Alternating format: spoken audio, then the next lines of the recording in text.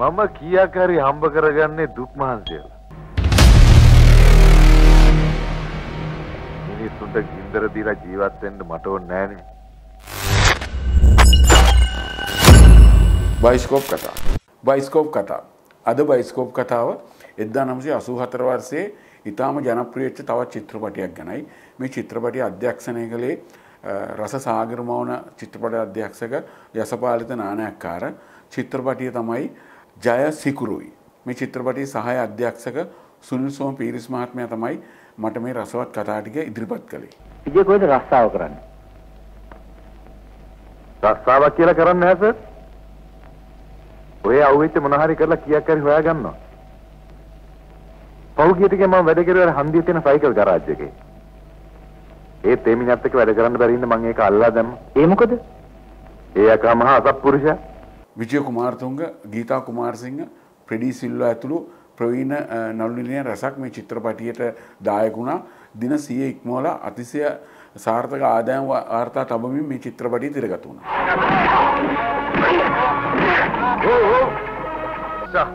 හොඳ මස් පිරිච්ච අතනේ. මම හුඟ කලකින් මේ වගේ පුෂ්ටිමත් අතක් දැක්කේ. ඒත් මේ වගේ අත්වලින් ගන්න තියෙන ප්‍රයෝජනේ නිකන් අහිංසක මිනිස්සුන්ට ගන්න එක නෙමෙයි තේරුණාද? කවුද අකෝ? චිත්‍රපටයේ සහාය අධ්‍යක්ෂක සුනිල් සෝම පීරිස් මහත්තයා වුණාට එයත් හරි ආසයින රඟපාන එයත් දක්ෂ නළුවෙක්. ඉතින් එයාට මේ චිත්‍රපටියේ දෙමළ චරිතයක් කනක පුල්ලේ කියන චරිතය එයාට හම්බ වෙච්ච විදිහ තමයි මට රසවත් කරලා කිව්වේ. ආ කනක පුල්ලේ බෑරද? මම මම යනවා ඊයේ චනාබෝලි කොහෙද ඉන්නේ මං යනවා එහෙ. මෙහෙ. මං යනවා එහෙ. මෙහෙ. ආන්දා. ඉන්නේ මම රාමා ඉතින් චිත්‍රපටි රූපගත කරේ හැටන් වල.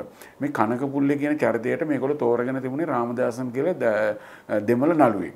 ඉතින් කොහොම හරි රාමදාසන් ඉන්දියාවේ ගිහිල්ලා ඇවිල්ලා මොකක් හරි ප්‍රශ්නයක් වෙලා එයාට නියමිත දිනවලට රූපගත කිරීම වලට එන්න බැරි වෙලා තියෙනවා. මේ මහත්තයා ඉන්නවද?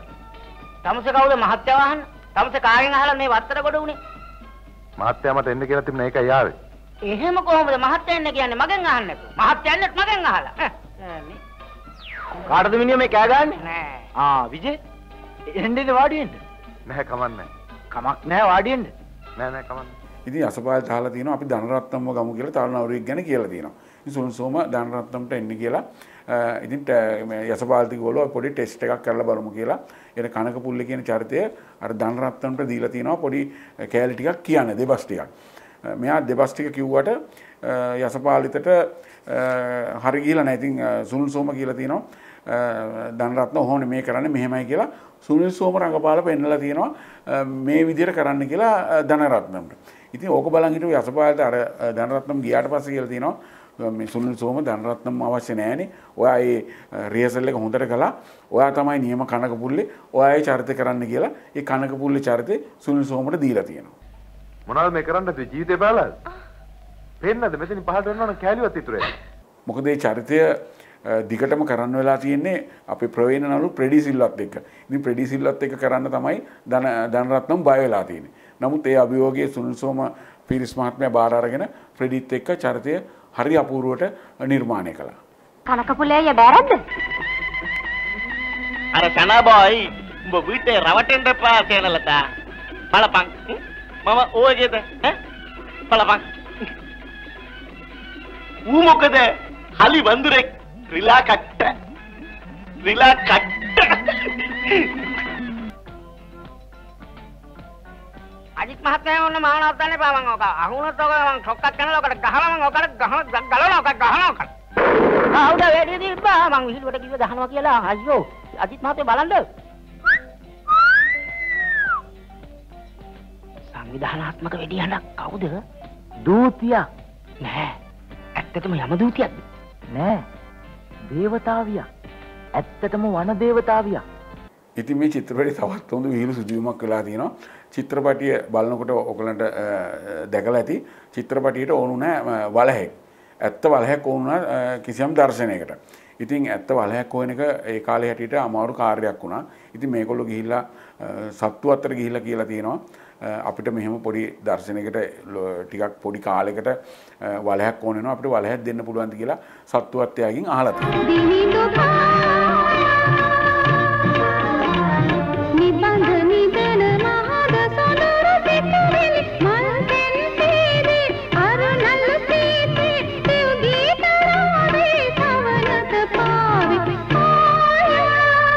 එතකොට සත්වත්තේ අධිකාරවරු කියලා තියෙනවා. හරි.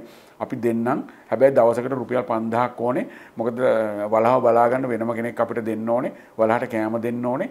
ඒක නිසා මේ අපි අ, රුපියල් 5000ක් දෙනවා නම් වලහයක් දෙන්නම් කියලා කියලා තියෙනවා. ඉතින් ඊට පස්සේ තව කොන්දේසියක් දාලා තිනවා.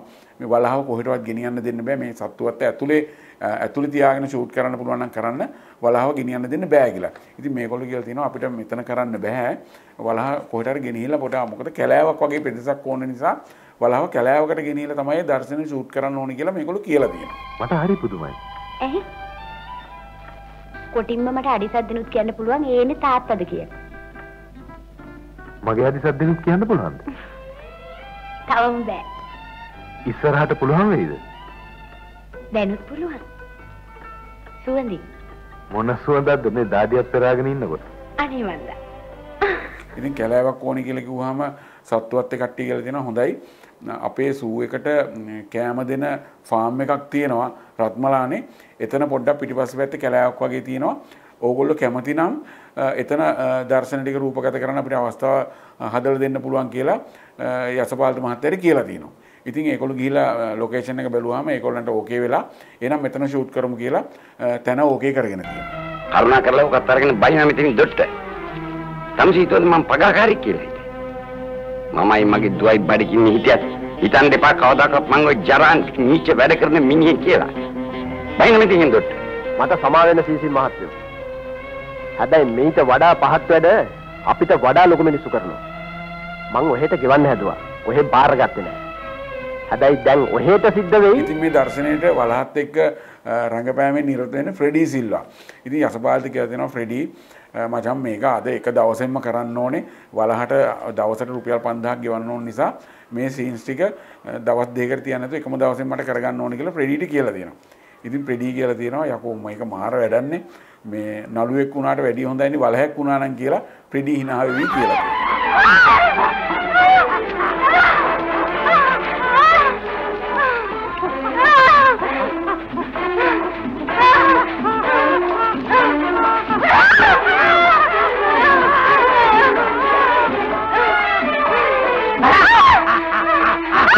මේ චිත්‍රපටයේ ප්‍රධාන චරිත විජය කුමාරතුංග මහත්තයානේ. ඒ විජය කුමාරතුංග මහත්තයා මේ චිත්‍රපටය රූපගත කරන්න එන්න ඇවිල්ලා තින්නේ. එයා නැක්සලයිට් චෝදනාවට හිරගත කරලා හිටියනේ කාලයක්. ඉතින් හිරෙන් නිදහස් වෙලා ආපු ගමන් තමයි මේ චිත්‍රපටය රූපගත කිරීම වලට ඇවිල්ලා තියෙන්නේ. අනේ දැන් මොකද කරන්නේ? මෙයාගේ කටට කට තියලා හුස්ම දෙන්න ඕනේ. කටට කට තියලා ඇයි ඉතින් ඔයා බලන් ඉන්නේ කරන්නකෝ. මම නෙවෙයි මගේ බොස්ස සුරුට්ටු කඳ ගැහුවොත් මාව රස්සාවට ලක් කරයි. මට නන්ද? අනේ ඒකට කමන්නේ. බේරගන්න එක. අනේ අපෝයි මට නම් බෑ බේරගන්න කැමති නම් කරන එකයි ඇත්තේ. අනේ මට බෑ. අනේ, අයියෝ බොරු සාක්ෂියක් කියලා හරි බේරගන්න. අනේ සර්ක වෙච්චදේ. හුස්ම දෙන්න එනවා ගන්න. ඔන්න එනවා. හුස්ම දෙන්න එනවා. අනේ එවිටනේ කවුවා වගේ උස්ම දුන්න නෙවෙයි උස්ම වැටුණා විතරයි ලෙඩේ ගන්න. තව විශේෂ දෙයක් කියන්න ඕනේ විජය කුමාරතුංග මහත්මයාගේ චිත්‍රපට ජීවිතයේ එයාගේ ඇත්තම උඩුරවලෙන් අ, චිත්‍රපට රූපගත කරලා තියෙන චිත්‍රපට දෙකක් විතරයි. එකක් තමයි ජය සිකුරුයි අනික තමයි බදුලු කෝච්චිය. ඒ චිත්‍රපට දෙකේ විතරයි අ, විජය කුමාරතුංග මහත්මයාගේ ස්වභාවික ඇත්ත උඩුරවලෙන් චිත්‍රපටේ රූපගත කිරීම කරලා තියෙන්නේ. අනිත් හැම චිත්‍රපටයකටම ඔහුට උඩු රැවුල් දාලා තියෙන්නේ අ, බොරු රැවුල් තමයි දාලා රූපගත කරලා තියෙන්නේ. ඔයා කොයිම වෙලාවකවත් මේ බෑග් එක තනි කරලා දාලා එක මොහොතකටවත් එහෙම වුණාද? නෑ මම බැංකුවෙන් සල්ලි ගත්තා ජීප් එක නැග්ගා කෙලින්ම ඇවිල්ලා බැස්ස ගෙදර. තමුසේ ගියේ නැද්ද අර තමුසේගේ ආදරවන්තිය එහෙම බලන්න? මොනවද මේ කියන්න හදන්නේ? කියන්න හදන්නේ නැහැ. මම පෙන්වන්නම් කවුරුත් මාත් එක්ක ආවොත් මට දෙන්නකො එක මිනිත්තුවක්. ඒයි උඹ හරි විලුකාරි ඒයි උඹ මාව බයවෙන්ඩ ඇද නේද ඈ? ඇයි මම කියනං බයවෙන්ඩ උඹ ඒක මේ කළේ අලියා නරියා බලහා ගීතයක් තියෙනවා නන්දනුවනේ මියුරස තවරා දීලා කියන ගීතය. ඒ ගීතය රූපගත කරලා තියෙන්නේ මාස දෙකකට නැත්තම් තුනකට විතර පස්සේ. එතකොට විජයගේ උඩරැවුල කපලා ටිකක් ඇඟ එහෙම මහත් වෙලා හොඳ පෙනුමට ඉන්නකොට තමයි ඒ නන්දනුවනේ මියුරස තවරා කියන ගීතය රූපගත කරලා තියෙන්නේ.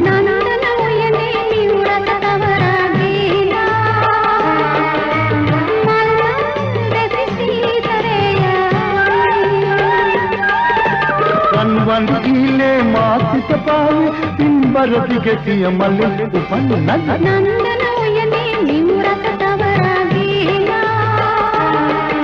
හයිසී විසියාවනි චිත්‍රපටි විදිහට මේ චිත්‍රපටි ඉතිහාසගත වෙනවා එදදා නමසි අසූ හතරේ නොවම්බර් මාසෙ තිස්වෙන්ද තමයි චිත්‍රපටි පළමුවම තිරගත වෙලා තියෙන්නේ සීලුම සිනමාහල්වල ඉතාම සාර්ථකව මේ චිත්‍රපටි තිරගත වෙලා තියෙනවා. මට දුකයි කුමාරී. ඔයාට ඔයාගේ තාත්තගෙන් ලැබිච්ච සැප පහසුකම් මට දෙන්න බැරි එක ගැන. මට මේ හොඳටම ඇති. මං ඔයා හින්දා අලුත් ලෝකෙකට ආවා විජේ. මං ඒකට ආසයි විජේ. පෙම්මන බැන්ද පෙම්මන බැන්ද රස දන්න රසවන්තිමා පෙම්මන බැන්ද රස දන්න රසවන්තිමා මදුසිනාව මදුසිනාව නැලවිල්ල මට ලැබුණා මේ මට ලැබුණා පෙම්මන බැන්ද රස දන්න රසවන්තිමා බයිස්කෝප් කතා සිනමාවට ලැදි ඔබ සඳහාමයි. ඔම්මදවත පාරවා පෝරණපම බෝලවා මාතුගෙන්දරේ දම්මා පැත්තරන්නේ එයි ඔබයෙල්ල මාදමා තරන්නේ ඇයි ඔබයෙල්ල මාදමා ஐயா ஐயாவே ஐயா ஐயோ காதல் முடிஞ்சு ඉතින් තවත් රසබර කතාවකින් ළඟදීම අපි ඔබ හමුවට එනවා. එතකං අපිත් සමග දිගටම රැඳී සිටින්න අපට සබස්ක්‍රයිබ් කරන්න බෙල් අයිකන එක කලික් කරන්න ලයික් කරන්න. අපේ අද අඩුපාඩු තියෙනවනම්